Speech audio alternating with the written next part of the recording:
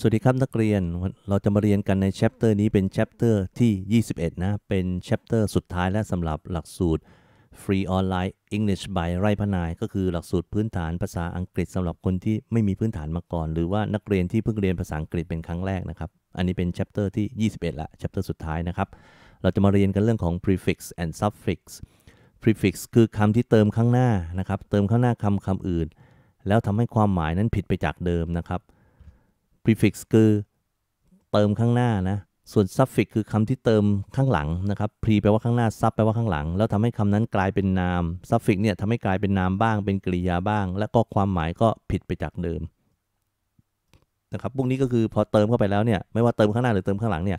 ความหมายก็จะผิดไปจากเดิม เดี๋ยวเราไปดูกันนะ อย่างเช่นคำว่าอันเนี่ย ถ้าไปเติมข้างหน้ามันจะทำให้เกิด มีความหมายแปลว่าไม่ อย่างเช่น เดิมมันเป็นคำมีความหมายว่าอย่างไร พอเติมอันเข้าไปมันจะกลายเป็นไม่นะ ใช้เติมหน้า adjective adverb ทำให้มีความหมายตรงข้าม เช่น เดิมคำว่า happy พอเติมคำว่าอันเข้าไปก็เป็น unhappy ไม่มีความสุขแล้ว wise ฉลาด พอเติมเอาไปก็เป็น unwise นะครับ suitable เติมเข้าไปก็เป็น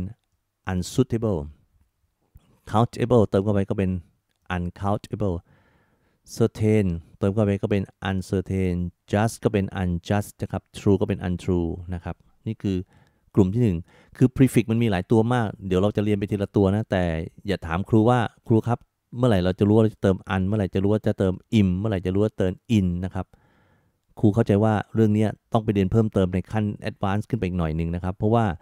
ที่ครูเรียนภาษาอังกฤษมาเนี่ยสมัยเด็กๆเนี่ยที่เชื่อมักจะบอกครูเสมอว่าเรื่องที่ยากในภาษาอังกฤษเนี่ยไม่ใช่เรื่อง tense นะ เรื่องที่ยากมากๆ ก็คือเรื่องของ preposition นั่นคือเรื่องหนึ่งที่ยาก 2. เรื่องของ prefix suffix มันก็ยาก เพราะว่ามันต้องต้องต้องเรียนว่าทำไมถึงมีเหตุผลในการเติมอย่างนั้น ซึ่งครูคิดว่าภาษาอังกฤษในขั้นสูงๆเขาจะสอนนะ แต่เอาเราเรียนขั้นพื้นฐานแค่นี้เราจำไปก่อนแล้วกันนะครับ เพราะนักเรียนเพิ่งเรียนแค่พื้นฐาน ถ้าถ้าคนที่มาเรียนตอนนี้เป็นมต้น1 2 3 หรือป .4 ป .5 ป .6 เนี่ย นักเรียนเอาพื้นฐานตรงนี้ได้ก่อนนะ แล้วเราค่อยขยับไปขั้นสูง ต่อไปเราไปดูคำว่า im นะครับ im แปลว่าไม่เหมือนกันนะคำนี้ก็แปลว่าไม่เหมือนกัน ไม่นะครับ เมื่อเติมคำหน้าหน้า adjective ก็แปลว่าไม่ทำให้มีความหมายตรงกันข้าม เช่น possible แปลว่าได้ เป็นไปได้ impossible ก็เป็นไปไม่ได้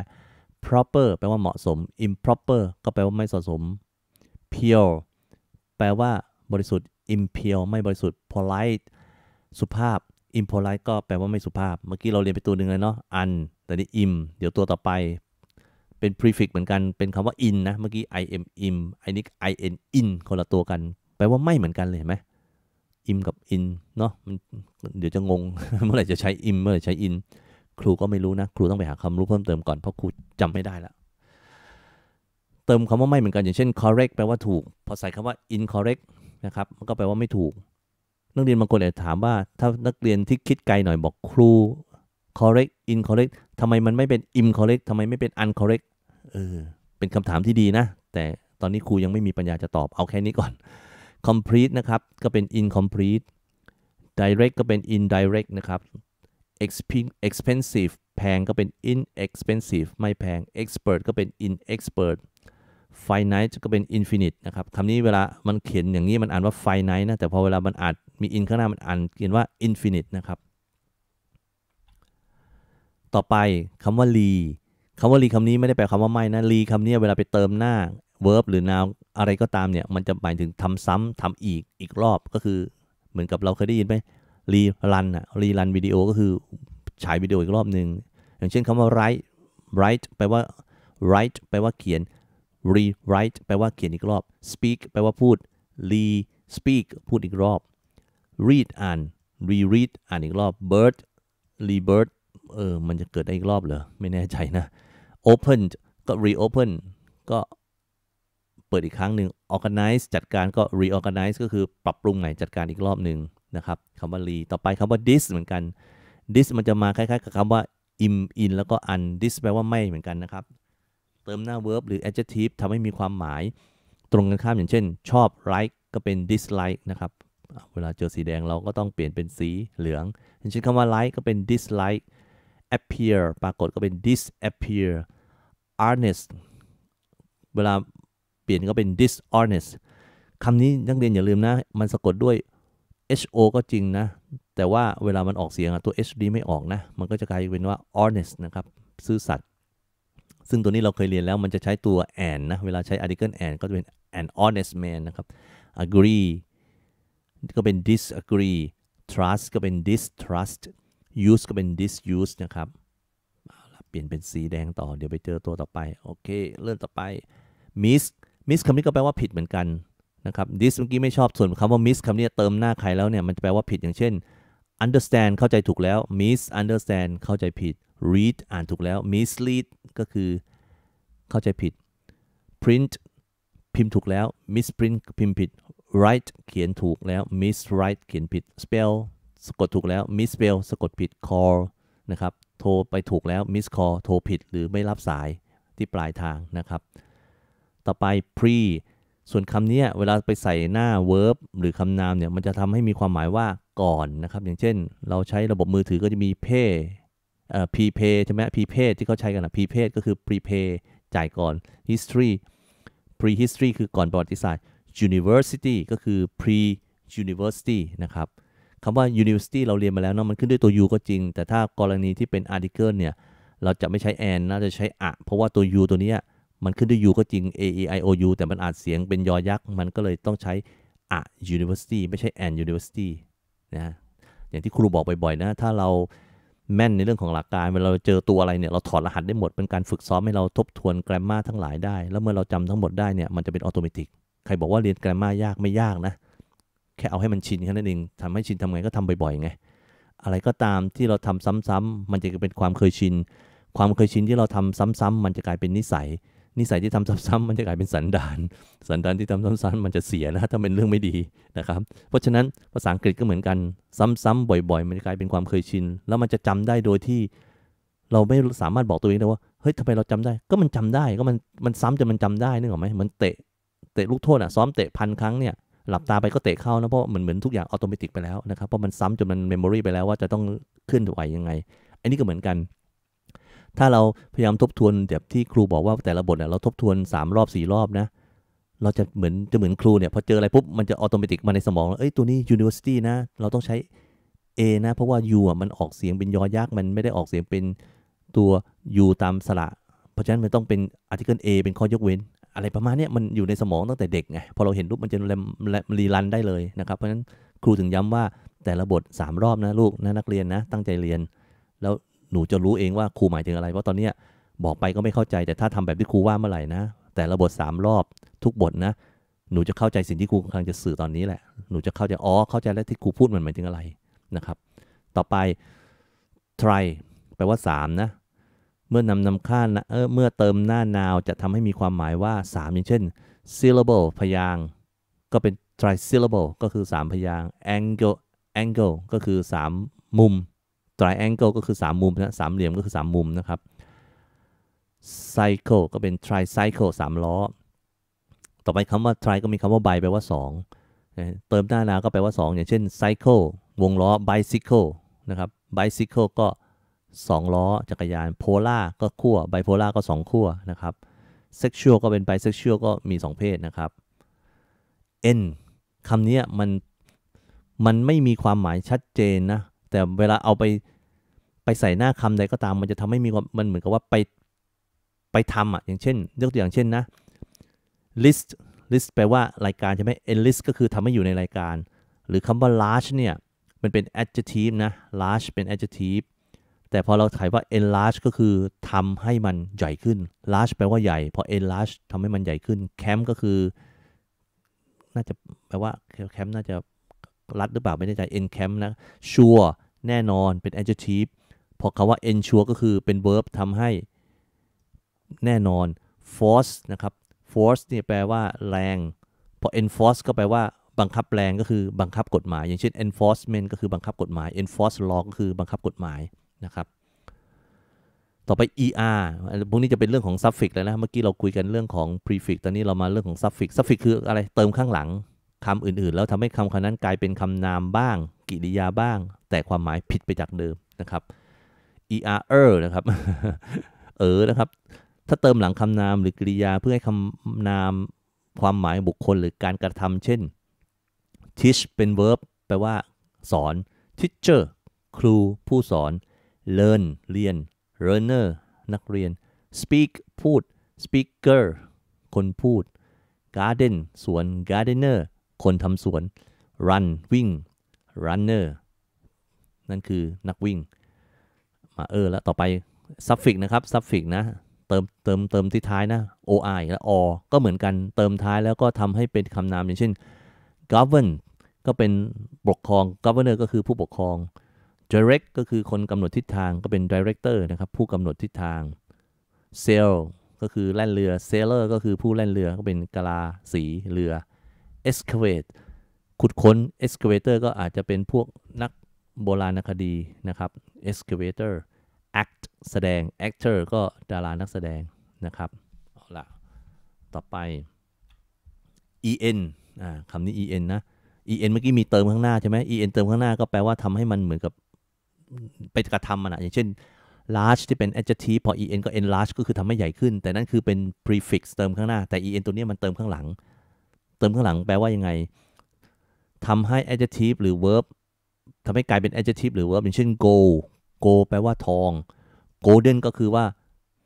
เสมือนทองคำเป็นทองคำ wood แปลว่าไม้ wooden ก็แปลว่า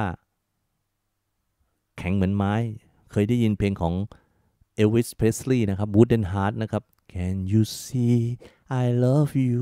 please don't break my heart in two That's not hard to do cause I don't have the wooden heart wooden heart นะครับก็คือหัวใจที่มันเหมือนเขาเรียกแข็งเหมือนไม้อะ wooden heart นะ ก็คือเห็นไหมมันจะเป็น wooden heart เป็น adjective ขยายคำว่า heart แปลว่าไม้ใจที่มันแข็งอะไม่มีไม่มีความนุ่มนวลนะนะครับ wooden นะครับ ก็คือพอเอา en มาใส่ปั๊บ มันก็จะกลายเป็น wooden เป็น adjective ไป light นะครับ ก็เป็นแสงก็เป็น lighten ก็คือทำให้สว่างสดใส ต่อไป ly คำนี้เป็น suffix เมื่อมาเติมหลัง adjective มันจะทำให้เป็น adverb นะครับ เราเรียนมาแล้วเนอกในบทก่อนๆว่า adjective เมื่อเติม ly ก็เป็น adverb คำนามเมื่อเติม ing หรือเปลี่ยนเป็นช่องที่ 3 ก็จะกลายเป็น adjective นะครับ adjective ก็จะไปเป็น adverb ต่อไปเมื่อเติม ly อย่างเช่น slow slow นี่เป็น adjective เติม ly ก็เป็น slowly อย่างช้า quick เป็น adjective เติม ly quickly อย่างรวดเร็ว wise ฉลาด wisely อย่างฉลาด happy ก็เปลี่ยนเป็น happily ทีนี้ลงท้ายด้วย y นะครับ หน้า y เป็น พยัญชนะ ให้เปลี่ยน y เป็น i ก่อนแล้วค่อยแปลงอีกทีนะเเราเรียนไปแล้วในเรื่องของของของ comparative อะไรก็ตาม น่าจะจำได้บ้าง full คำนี้เติมหลังนะครับ เติมข้างหลัง now นะครับ verb เพื่อทำให้เป็น adjective อย่างเช่น beauty beauty เป็น noun แปลว่าความสวย beautiful นะครับ beautiful ไหมลงท้ายด้วย y หน้า y เป็นพยัญชนะ ก็ให้เปลี่ยน y เป็น i ก่อน แล้วค่อยเติม full ทีหลัง useful นะครับ เต็มไปด้วยประโยชน์ care careful wonder น่าแปลกใจ wonderful น่าแปลกใจ ต่อไป less อะคำนี้ก็เติมท้าย less แปลว่า ไม่มีน้อยนะครับ เมื่อใช้เติมข้างหลัง now เพื่อให้เป็น adjective ก็อย่างเช่น job แปลว่างาน พอเติม jobless ก็คืองานน้อยก็ไม่มีงานทำก็คือตกงานนั่นแหละ life lifeless ก็คือสิ้นชีวิตนะครับ หรือว่าเหลือน้อยละชีวิต crowded ก็คือมืดมัว เมฆเยอะ crowdless ก็คือกระจ่างนะครับ ต่อไป ness เติมข้างหลัง adjective เพื่อทำให้เป็น noun เช่น light lightness ก็คือแสงเอ่อ light แปลว่าแสง lightness ก็คือสว่าง dark มืดนะครับ darkness ก็คือความมืด good goodness ก็คือความดี happy นะครับ เห็นไหม happy เป็น y ข้างหน้าเป็น พยัญชนะ ให้เปลี่ยน y เป็น i แล้วก่อนแล้วค่อยแก้เทอมทีหลังก็ happy ก็เป็น y เป็น i แล้วเติม ne ne double s ก็เป็น happiness soft ก็เป็น softness นะครับ ความนุ่มนวล y เมื่อใช้เติมข้างหลัง now เพื่อทำให้เป็น adjective เช่น sun ก็เป็น sunny นะครับอย่างเช่น sun พระอาทิตย์ sunny ก็แดดจัด stone แปลว่าหิน stony ก็เต็มไปด้วยหิน storm แปลว่าพายุ เมื่อเป็น stormy ก็ดุเดือดนะครับ ก็จบแล้ว นะครับ21 บทเรียบร้อยนะครับ ที่ครูทำมาให้เรียนฟรีกัน หวังว่าจะเป็นประโยชน์พวกเรา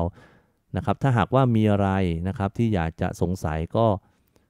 นะครับอย่าลืมนะ เข้าไปดูที่เว็บไซต์ www ไร่พนาย farm นะครับ หรือไม่ก็โทรหรือไลน์ก็ได้ ตามเบอร์นี้ 0813417250 แล้วก็อีเมลมาที่ไร่พนายนะครับ ว่างๆเข้าไปดูในเว็บไซต์ไร่พนายมีอะไรให้ดูเยอะแยะนอกจากเรื่องของภาษาอังกฤษนะเราอยากได้ความรู้อื่นๆเนี่ยครูก็จะไปเติมให้อาจจะเป็นเรื่องของการขายเรื่องของธุรกิจอะไรก็ตามนะครับเผื่อไม่ใช่เป็นนักเรียนมต้นอย่างเดียวอาจจะเป็นคนที่ทำงานออฟฟิศพนักงานอยู่ อยากจะได้ความรู้เพิ่มเติม อย่างเช่น การขายหรืออะไรก็ตามแล้วบทความต่างๆที่เขียนไว้อาจจะเอาไปใช้ประโยชน์ได้นะครับ ก็สุดท้ายพูดเหมือนเดิมทุกครั้งนะก็อยากให้นักเรียนเนี่ยนะครับให้นักเรียนเนี่ยไปฝึกฝนนะครูจะพูดเสมอว่า 21 บทที่ครูทำมาให้เนี่ย ถ้านักเรียนเนี่ยเชื่อครูนะ อย่างน้อย 3 รอบต่อ 1 บทนะครับ กลายเป็น 66 รอบ 66 รอบ นักเรียนจะเขียนภาษาอังกฤษได้ นักเรียนจะเขียนภาษาอังกฤษอย่างถูกต้อง เขียนภาษาอังกฤษแบบมืออาชีพนะครับ ก็คือมีหลักการไม่เขียนมั่วหรือจำมาเท่านั้นเอง และครูเชื่อว่านักเรียนจะพูดภาษาอังกฤษได้ เพราะเนื่องนักเรียนมีแกรมมาที่แข็ง เข้าใจแกรมมานักเรียนจะไม่มีวันลืม แล้วเมื่อไหร่ที่จะพูดก็จะพูดได้ถูกต้องเพราะเราเข้าใจหลักการ สิ่งที่ต้องการเพิ่มเติมคือ อ่านให้มาก ฟังให้มากท่องศัพท์ให้มากนะครับ แล้วก็ฝึกใช้บ่อยๆ มีวิธีเดียวครับภาษาอังกฤษจะพูดได้คือต้องฝึกอย่างเดียวเลยครับถ้าไม่ฝึกพูดไม่ได้ เหมือนครูเนี่ยตอนเรียนปริญญาโทเนี่ยครูต้องเรียนประมาณ 12 วิชานะ เป็นภาษาอังกฤษหมดเลยทุกเล่มเลย เพราะว่าเป็นของ Leicester University ครูไม่อ่านภาษาไทยเลยตอนเรียนปริญญาโทนะ นั่นหมายถึงว่าก่อนเรียนปริญญาโทนี่เรียนปริญญาตรีเรียนป .4 ป .5 ป .6 ก็อ่านภาษาอังกฤษมาค่อนข้างเยอะแล้ว แต่ตอนเรียนปริญญาโทเนี่ยเขาเรียกว่าทุ่มสุดตัวก็คือตำราทั้งหมด 12 เล่ม อย่างน้อยไม่ใช่ 12 ประมาณอ่านไปประมาณ 14-15 เล่มนะครับ แต่ละเล่มก็ประมาณ 2-300 หน้า ครูอ่านทุกเล่มทุกหน้า แล้วอ่านอย่างน้อยประมาณ 2 รอบ นักเรียนคิดดูว่า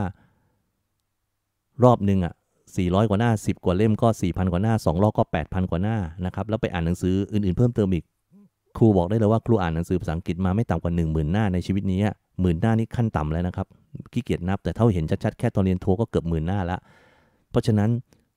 มันอ่านเยอะจนมันจำได้ จนมันใช้งานได้อัตโนมัตินะครับ